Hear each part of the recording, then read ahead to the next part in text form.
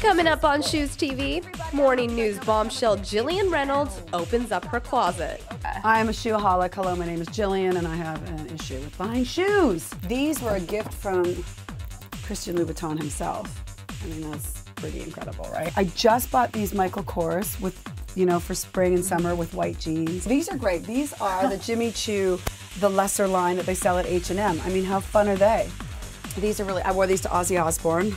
The Kardashians gave me these, and I really love these because they're, I don't wear a lot of closed toe. Cleavage and spikes.